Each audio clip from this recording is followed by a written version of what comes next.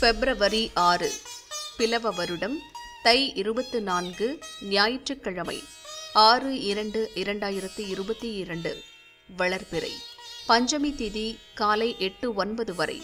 அதன் பின் சஷ்டி திதி ரேவதி நட்சத்திரம் இரவு ஒன்பது பதினெட்டு வரை. அதன் பின் அசுவினி நட்சத்திரம். அமிர்த சித்த யோகம். நல்ல நேரம் காலை ஏழு முப்பத்து ஒன்று முதல் ஒன்பது மணி வரை.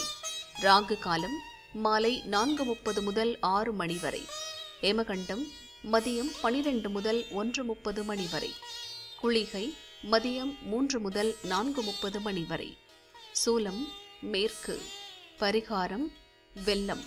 சந்திராஷ்டமம் மகம் பூரம். பொது சஷ்டி விரதம் முருகன் வழிபாடு முகூர்த்த நாள். சூரிய உதயம் காலை ஆறு நாற்பது மணி. அஸ்தமனம் மாலை ஆறு பதினாறு மணி. சந்திர உதயம் காலை பத்து முப்பத்தி ஒரு மணி அஸ்தமனம் இரவு பதினோரு மணி.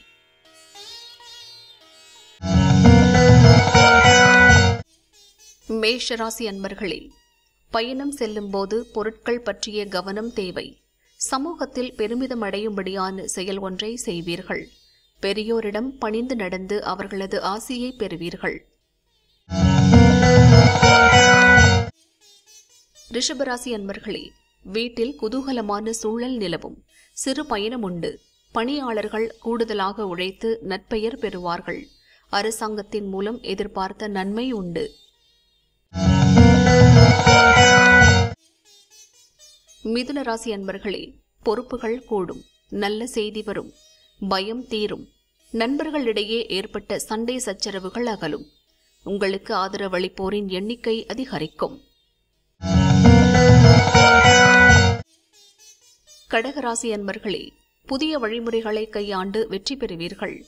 புதிய வாகனம் வாங்கும் முயற்சியில் வெற்றி காண்பீர்கள். பொதுநல ஈடுபாடு அதிகரிக்கும். அரசின் உதவி கிடைக்கும்.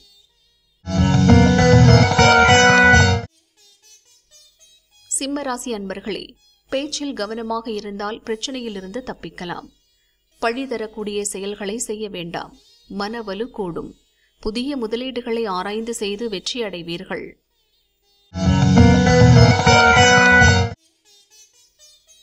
கன்னிராசி அன்பர்களே பணி சம்பந்தமாக வெளிநாட்டு தொடர்பு ஏற்படும்.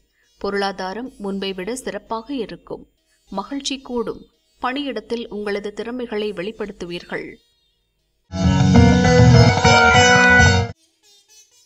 துளாராசி அன்பர்களே பணியாளர்களுக்கு இன்று மகிழ்ச்சிகரமான செய்தி வரும். குடும்பத்தில் ஒருவருக்கு தடைபட்டு வந்த நன்மைகள் இன்று நடைபெறும். உங்களின் உடல் நலம் கடந்த நாட்களை விடவும் மேம்படும். விருச்சகராசி அன்பர்களே பொறுப்பினை நன்கு நிறைவேற்றி பாராட்டு பெறுவீர்கள். கடந்த சில நாளாக இருந்து வந்த பிரச்சினை ஒன்று தீரும். ஆழ்ந்து யோசித்து திட்டமிட்ட பிறகு புதிய செயலில் இறங்குங்கள்.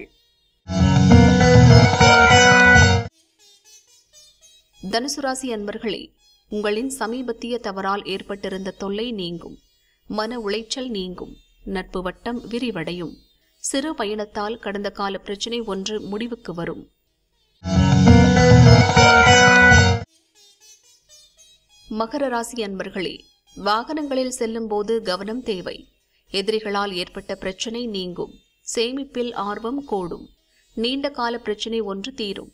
பேச்சினால் நன்மை வரும். கும்பராசி அன்பர்களே மற்றவர்களுக்கு நன்மை செய்து மகிழ்ச்சி அடைவீர்கள். குடும்பச் சூழலில் சுமூகமான போக்கு இருக்கும். குழந்தைகளால் பெருமை வரும். அக்கம்பக்கத்தினர் பகையை மறந்து கலகலப்பாக பழகுவார்கள். மீனராசி அன்பர்களே பணியாளர்களில் சிலருக்கு எதிர்பார்த்த பதவி உயர்வு தாமதமாகும். இன்று ஏற்படும் செலவுகள் நன்மையும் மகிழ்ச்சியும் தரும். புதிய விஷயம் ஒன்றை கற்பீர்கள். கலகலப்பான நாள்.